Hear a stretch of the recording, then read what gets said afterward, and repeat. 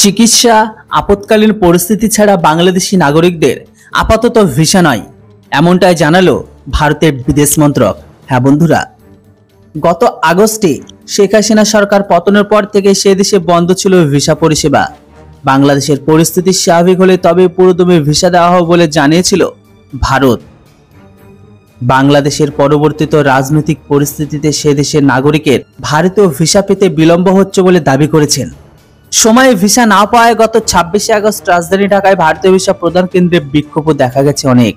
Slogan ওঠে, এক দফা, এক দাবি, ভিসা চাই ভিসা চাই। এই প্রেক্ষিতেই বাংলাদেশের নাগরিকদের ভিসার আবেদনের ক্ষেত্রে অবস্থান স্পষ্ট জানালো ভারতের বিদেশ মন্ত্রক।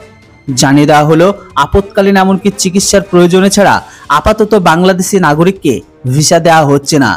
বিদেশ মন্ত্রকের মুখপাত্র রণধীর জয়সওয়াল জানিয়েছে, আপাতত বাংলাদেশিদের চিকিৎসা এমনকি জরুরি প্রয়োজনে ভিসা দেওয়া হচ্ছে। যখন বাংলাদেশের পরিস্থিতি স্বাভাবিক হবে, তখন পূর্ণমাত্রায় কাজ শুরু হবে, এমনকি ভিসা প্রদানও স্বাভাবিক হবে। গত আগস্টে বাংলাদেশে শেখ হাসিনা সরকারের পতনের পরে থেকে সে দেশে বন্ধ ছিল ভিসা পরিষেবা। বাংলাদেশের অশান্ত পরিস্থিতিতে ভারতীয় দূতাবাসের প্রচুর কর্মীকে ভারতে ফিরে আনা হয়। পরিস্থিতি কিছুটা স্বাভাবিক হওয়ার পর ভারতীয় ভিসা কেন্দ্রগুলিতে পুনরায় কাজ শুরু হলে সেখানে বিক্ষোভ দেখাতে শুরু করেন অনেকে। এরই জেরে ফের ব্যাহত হয় কাজ। বাধ্য হয় ভারতীয় দূতাবাস এমনকি ভিসা কেন্দ্রগুলিতে বাড়তি নিরাপত্তা। মোতায়েন করে মোহাম্মদ ইউনুস অন্তর্বর্তী সরকার। এরই মধ্যে সেপ্টেম্বর থেকে আবারও জরুরি ভিত্তিতে পরিষেবা দেওয়া শুরু হয় ভিসা আবেদন কেন্দ্রগুলিতে। ভারতীয় ভিসা আবেদন কেন্দ্র জানিয়ে দিয়েছে স্পষ্টভাবে তাদের যে প্রাথমিকভাবে ভিসা সেন্টার খুলছে ঢাকা তবে রাজশাহী, চট্টগ্রাম, সিলেট এমনকি খুলনায়। তবে এখন সকলে ভিসা পাবেন না।